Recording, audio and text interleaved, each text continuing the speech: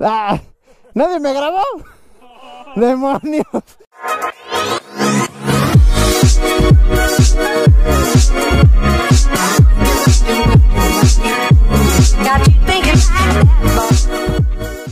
¿Qué tal amigos? ¿Cómo están? Espero que estén bastante bien. Yo soy Andy Castillo y sean bienvenidos a un nuevo video. Como les he dicho ya en videos anteriores, el segmento de motocicletas doble propósito se está convirtiendo en uno de mis favoritos, ya que son bastante divertidas y he visto que hasta bastante eficientes en los traslados de tu día a día por la ciudad. Y en esta ocasión les daré la ficha técnica y la experiencia que tuve en estas dos semanas con la Crossmax 250 Y antes de iniciar, quiero agradecer a mis amigos de Bento Motorcycles por prestarme su motocicleta por aproximadamente dos semanas. Y vaya que la disfruté bastante. Y hasta viví una experiencia nada grata con ella, pero eso ya lo debieron haber visto en los videos anteriores y si no lo han visto se los dejo aquí arribita. Y eso ocasionó que generara un pequeño vínculo con esta motocicleta y pues también ya le agarré un cariño. Pero ya basta de tanto parloteo y acompáñame a conocer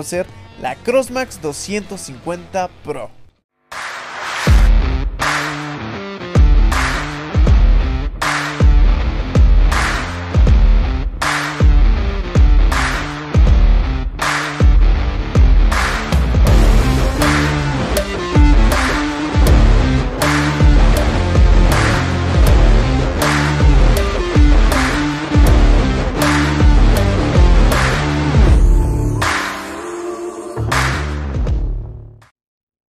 Comenzamos con la ficha técnica. Esta moto tiene un motor 4 tiempos, monocilíndrico de 250 centímetros cúbicos, carburado y enfriado por aire.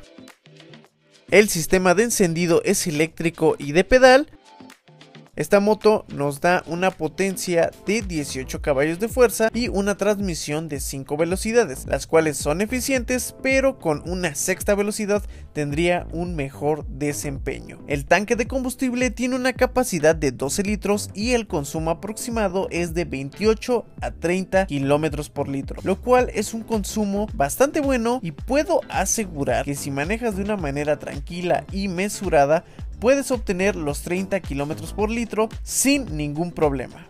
Un apartado importante en este tipo de motos es la suspensión y en esta tenemos horquilla telescópica hidráulica invertida y un monoshock en la parte trasera. Creo que este apartado es uno de sus puntos fuertes, ya que en terrenos irregulares nunca sentí molestias o que no pudiera pasar por terrenos difíciles y en ciudad era bastante cómoda, los topes y baches no eran ningún problema, así que palomita en este apartado. Y en la parte de los frenos tenemos freno de disco ventilado con un caliper de doble pistón en la parte delantera y en la parte trasera tiene un freno de disco ventilado con un caliper de un solo pistón. Y déjenme decirles que frena bien pero se puede mejorar. Los discos cumplen bastante bien su función, el inconveniente tal vez serían las llantas que no se complementan tan bien en un uso citadino, pero ese tema lo abarcaremos en el siguiente punto. En la parte de las llantas tenemos medidas 90-90 RIN 21 en la parte delantera y 4.60 100 RIN 18 en la llanta trasera y déjenme decirles que el desempeño de las llantas de agencia es bueno, en terracería se comporta bien ya que los tacos son bastante grandes, pero eso también hace que en ciudad no sean tan eficientes y se vuelva una moto un poco inestable. Pero eso es algo que se puede solucionar fácilmente. Yo recomiendo que si la vas a usar mayormente en ciudad y muy rara vez saldrás a terracería, te recomiendo usar unas llantas que sean un 70% ciudad y un 30% terracería. Pero si la quieres únicamente para terracería, las llantas de agencia son bastante buenas y ya cuando te las acabes les puedes poner una de mayor calidad.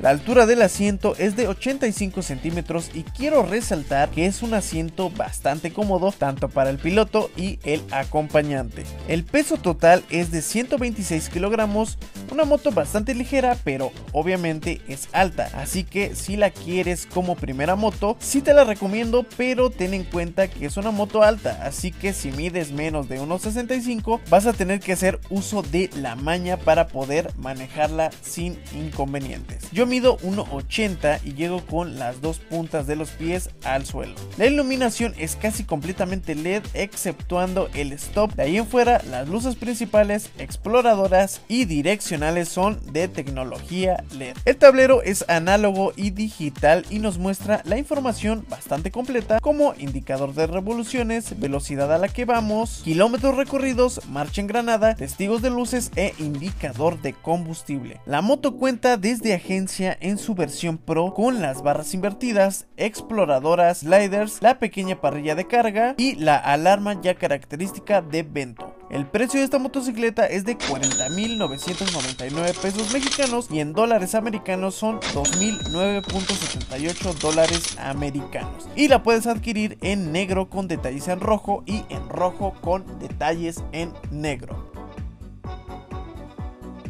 Y bueno amigos, pues estamos aquí en la prueba de manejo de la Crossmax. Ya la he estado probando por dos semanas y me ha encantado. Tiene muy buena respuesta. La potencia es ah, suficiente, pero lo único malo de esta moto es que tiene cinco velocidades. Si tuviera 6, la potencia la aprovecharía mucho mejor. Con seis velocidades esta moto sería, se me atrevería a decir que sería la mejor de la categoría de doble propósito de baja cilindrada. O bueno, de las mejores. Comodidad yo le doy un 10, tanto piloto y copiloto le doy un 10. La iluminación también es bastante buena, me gustó mucho. Se mueve bastante bien en el tráfico, en tus trayectos del día a día. Es muy ágil. El único detalle son las llantas. Se mueven bastante bien en la tierra, pero en ciudad no tanto. Entonces si le pones un compuesto un poquito más amigable, un 70-30, 70 ciudad, 30 terracería, yo creo que también se podría comportar un poquito mejor. También los primeros días sentí que se calentaba mucho en ciudad, pero ya con el tiempo como que me fui acostumbrando. Sí, sí tal vez emite calor, pero también como esta es moto demo, pues usa aceite vento, ¿no? Yo creo que si le metemos un motul puede que, que eso cambie. Los componentes del manillar son de calidad media, pero son aceptables, ¿no? Y sí, pues esto fue la prueba de manejo de la Crossmac. Ya vieron las experiencias que tuve con ellas, ya vieron cómo se desempeñó en off-road. Si quieren ver ese video, se los dejo aquí. Ya sufrimos un asalto con ella, también véanlo aquí. Eh, es una moto que se ganó mi cariño, me gustó mucho. ¿eh? Sí, sí, sí me voy a comprar una Crossmax 250. Y bueno amigos, hemos llegado hasta el final de este video. Comenten si les gustó esta Crossmax 250 en su versión Pro.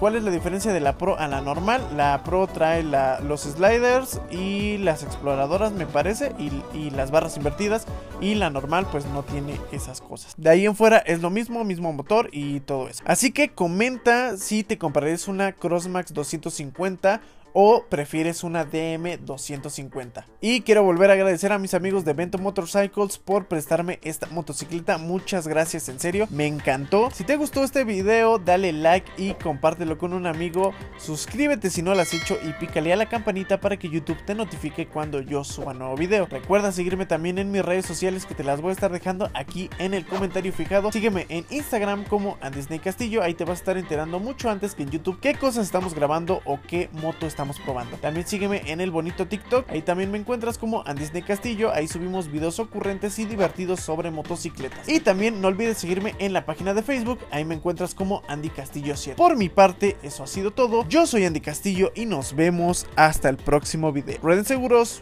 chao.